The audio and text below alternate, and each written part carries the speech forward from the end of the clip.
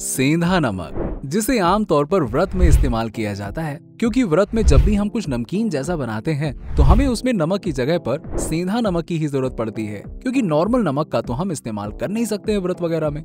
लेकिन क्या कभी आपने सोचा है कि आखिरकार फैक्ट्रीज में इसकी मेकिंग प्रोसेस कैसे की जाती है? साथ ही साथ हम आपको ये भी बताएँगे कि फैक्ट्रीज में आखिरकार चूना कैसे बनाया जाता है। जी हाँ हम उसी चूने की बात कर रहे हैं जिसे लोग आमतौर पर पान में लगाकर बढ़िया एकदम चाव के साथ खाना पसंद करते हैं और फिर बोलते हैं, अरे, मज़ा आ गया पान खाकर। जी हाँ वही वाला चूना। तो इसे भी लोकल फैक्ट्री में कैसे तैयार किया जाता है इसके बारे में हम आपको आज इस वीडियो में बताएँगे। तो, तो चलिए शुरू करते हैं आज का ये फैक्ट्री मेकिंग वीडियो दोस्तों चलिए सबसे पहले हम आपको सेंधा नमक कैसे बनाया जाता है इसके प्रोसेस से वाकिफ कराते हैं। इसकी फैक्ट्री प्रोसेस को जानने से पहले हमें ये जान लेना चाहिए कि आखिरकार सेंधा नमक कहाँ से निकाला जाता है। क्योंकि ये कोई प्रोडक्ट तो होता नहीं है जो डायरेक्टली फैक्ट्री में बना लिया जाएगा।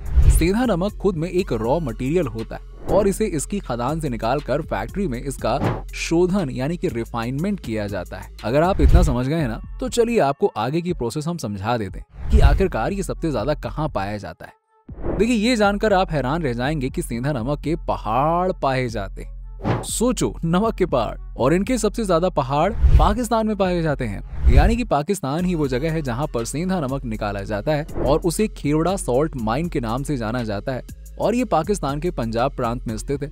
अब आपको बता दें कि सेंधा के इस पहाड़ में हज़ारों की संख्या में वर्कर्स लगे होते हैं और ये वर्कर्स इन पहाड़ों को बॉम्ब विस्फोट करके पहले तो तोड़ते हैं और जिससे ये बड़े बड़े पत्थर टूट अलग हो जाते हैं। अब आप सोच रहे होंगे की इन्हें बॉम्ब विस्फोट करके क्यों तोड़ा जाता है? तो आपको बता दें कि सेंधा नमक काफ़ी ज़्यादा मज़बूत होता है और कई वर्कर्स इसे छोटे छोटे टूल या हाथों से तोड़ तो नहीं सकते। विस्फोट के बाद जब ये अलग अलग बड़े बड़े पत्थरों में टूट जाता है तो इसे ट्रांसपोर्ट की हेल्प से फैक्ट्री में लाया जाता है और फिर इन्हें अनलोड किया जाता है। अब अनलोड करने के बाद इन्हें गोदाम में भरा जाता है और ज़रूरत के हिसाब से इन्हें निकाला जाता है। अब इनकी रिफाइनमेंट यानी कि शोधन प्रक्रिया शुरू की जाएगी। इसके लिए वर्कर्स कैपेसिटी के हिसाब से इन्हें गोदाम से लाते हैं। और फिर इनके टुकड़ों को साइज़ के हिसाब से अलग अलग कर लिया जाता है और ऐसा इसलिए किया जाता है जिससे इनकी प्रोसेस अच्छे से की जा सके।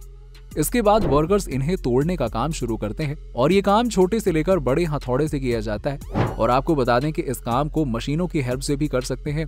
अगर इस प्रोसेस को मशीनों से किया जाता है तो इसमें कम वक्त लगता है और तोड़ने के प्रोसेस के बाद इन्हें छोटे छोटे बराबर के टुकड़ों में तोड़ लिया जाता है और इसके बाद इनकी शॉर्टिंग की प्रोसेस की जाती है। और ऐसा इसलिए किया जाता है जिससे इसमें मौजूद वेस्ट को निकाला जा सके।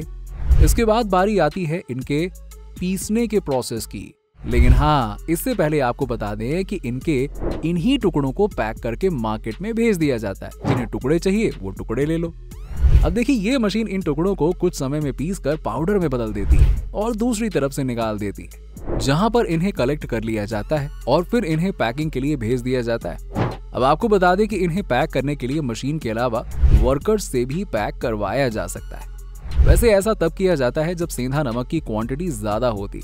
वर्कर्स के द्वारा पैकिंग प्रोसेस में सेंधा नमक को 200 ग्राम के पैकेट से लेकर एक किलोग्राम के पैकेट में पैक किया जाता है। अगर हम पैकिंग मशीन प्रोसेस को देखें तो सेंधा नमक को पैक करने के लिए एक तरह की सेंधा सॉल्ट पैकिंग मशीन का इस्तेमाल किया जाता है। वहीं ये खाने में काफ़ी ज़्यादा अच्छा होता है, इसके खाने से हेल्थ भी काफ़ी अच्छी रहती है और हमारी बॉडी में कई तरह के इसके फ़ायदे भी होते हैं। लेकिन ज़्यादा खाने से इसके नुकसान भी होते हैं, ज़रा संभल के हाँ? वैसे सेंधा नमक के फैक्ट्री प्रोसेस के बारे में तो आपने जान लिया है। लेकिन खाने वाले चूने के फैक्ट्री प्रोसेस के बारे में जानना अभी बाकी है और ये ज़रूरी है। और आपको पता है कि इसका इस्तेमाल खाने में किया जाता है। और इसके बारे में तो ये कहा जाता है कि भाई साहब, ये तो हड्डियों को पीस कर बनाया जाता है। चलो, आज देख लेते हैं कि इस बात में कितनी सच्चाई है और कितना दम है। जानेंगे इसकी फैक्ट्री प्रोसेस के बारे में तो चलिए आपको ले चलते हैं सीधा चूना बनाने वाली फैक्ट्री में।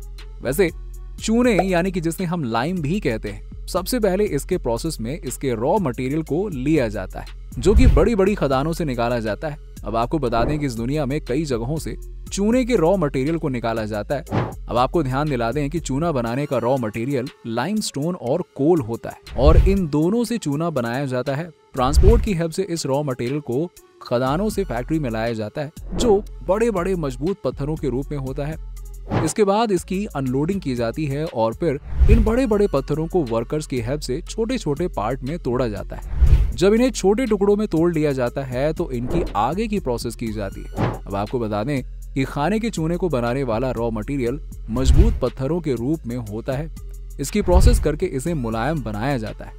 इन बड़े बड़े लाइमस्टोन के टुकड़ों को छोटे छोटे टुकड़ों में करने के बाद, कोल के टुकड़ों को भी इसी साइज़ में तोड़ लिया जाता है। अब इसके बाद बारी आती है लाइमस्टोन और कोल के टुकड़ों को आपस में मिक्स करने की। इसके लिए मशीन का भी यूज़ किया जा सकता है और वर्कर्स के द्वारा भी इस काम को किया जाता है। इसके बाद इसे मिलाने के बाद फैक्ट्री में बनी एक तरह की भट्टी में इस मिक्सचर को डाला जाता है, जिसका टेम्परेचर करीबन 800 डिग्री सेल्सियस के आसपास होता है। इसके बाद इसे करीबन तीन दिन तक गर्म किया जाता है और आपको बता दें कि इस प्रोसेस में लाइमस्टोन पूरी तरह से हीट हो जाता है।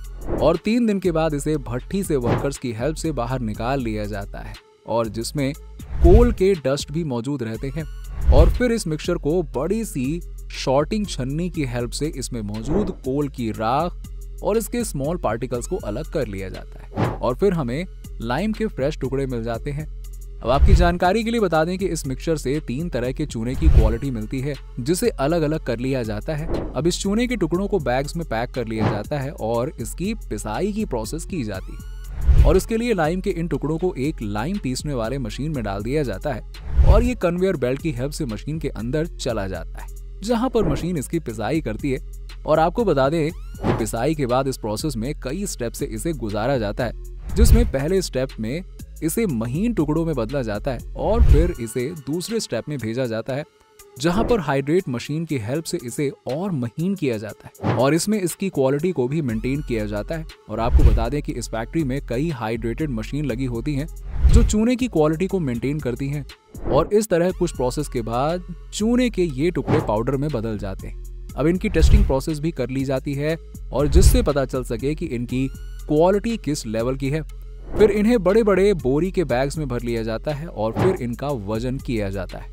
इसके बाद इन्हें मार्केट में भेज दिया जाता है, जहाँ से आप इन्हें खरीद कर पान में लगाकर बढ़िया से एकदम खाते हैं। वैसे, इसके अलावा भी इसका कई तरह से इस्तेमाल किया जाता है। वैसे, अब तो आप जान ही गए होंगे ना कि खाने वाला जो चूना होता है, वो हड्डियों से तो बिल्कुल नहीं बनाया जाता है। ये महज एक मिथ यानी कि अफवाह है। अब आपका डाउट भी खत्म हो गया वैसे इसे खाया जाता है, ये तो आप अच्छे से जानते हैं, लेकिन इसका ज़्यादा इस्तेमाल नहीं करना चाहिए, क्योंकि इससे बॉडी को हो जाता है नुकसान। और आज के समय चूरा ज़्यादातर खाने के अलावा दूसरी चीज़ों में भी यूज़ किया जाता है। इसमें कैल्शियम कार्बोनेट होता है, जो हमारी बॉडी में कैल्शियम की क्वांटिटी को बढ़ाता है। वैसे उम्मीद करता हूँ कि सीधा नमक और खाने वाले चूने को बनाने के प्रोसेस तो आप जान ही गए होंगे। इसके अलावा आपके मन में इसे लेकर कोई भी सवाल है तो आप हमसे ज़रूर पूछिए। और इसी तरह के दूसरे प्रोडक्ट की फैक्ट्री मेकिंग प्रोसेस के बारे में जानने के लिए आप हमारे चैनल को सब्सक्राइब कर लीजिएगा और कॉमेंट करके बताइए। मिलते हैं आपसे अगले वीडियो में। बाय